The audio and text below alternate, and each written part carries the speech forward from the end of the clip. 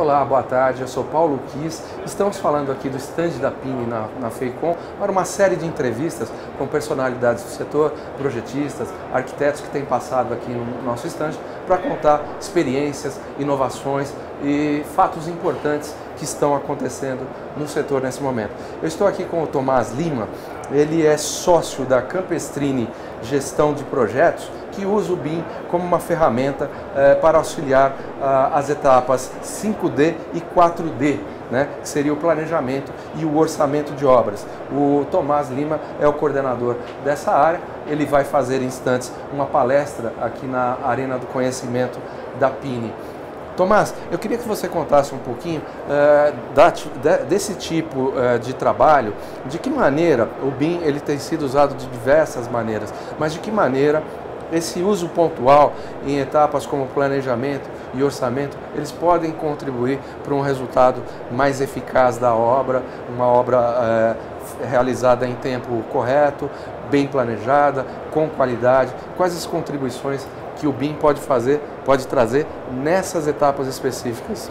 Bom, é, primeiramente o BIM ele serve como uma ferramenta de simulação de várias alternativas e possibilidades. Tá? Eu posso simular questões de prazo, questões de custo e como é uma ferramenta que possibilita uma interação, uma colaboração entre todos os projetistas, a gente consegue chegar ao final de um processo de gestão de projetos a um resultado favorável para o incorporador nesses dois aspectos, prazo e custo. Então, simulando alternativas, a gente alcança um resultado melhor para a edificação.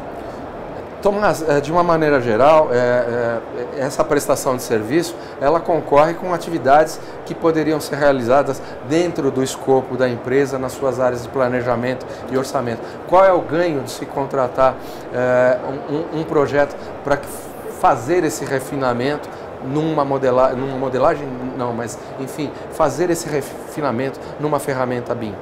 A vantagem é que, primeiro, que a gente não exclui o processo tradicional de gestão de projetos. A gente, entrando uma, uma empresa terceirizada num circuito BIM dentro de um empreendimento, é, permite que a gente use e combine e colabore diversas especialidades e diversas expertises dos, dos envolvidos. Então, uma empresa que já está acostumada a gerir projetos vai continuar gerindo, ela vai continuar com a expertise de execução de obras e o BIM ele possibilita agregar a essa expertise diversos outros conhecimentos de outros setores também. Então ele é, é uma ferramenta para agregar conhecimento e não deixar obsoleta práticas comuns.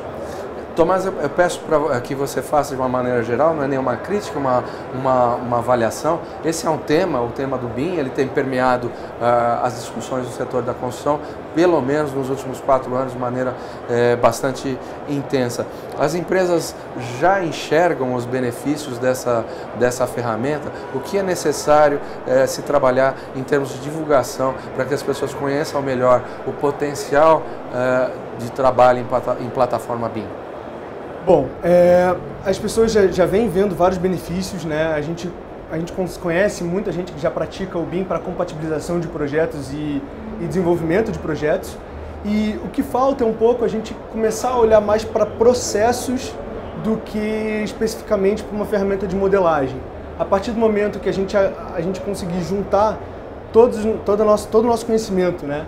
e, e otimizar processos utilizando a ferramenta BIM, a gente vai começar a alcançar resultados que a gente não vem vendo, mas que pode começar a, a ver.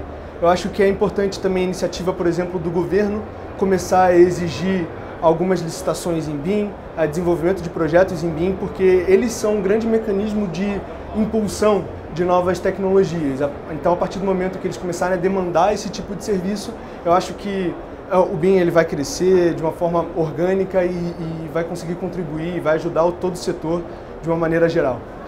Tomás, é, de uma maneira geral, para a gente é, concluir, você é, poderia destacar, é, não necessariamente algumas obras específicas, mas alguns benefícios já bastante visíveis no nosso setor com a implementação do BIM, empreendimentos, questão de, de, de, tempo, de produtividade, de, de, redução de custos. Você poderia destacar, eventualmente, até comentar alguns cases que você acha emblemáticos?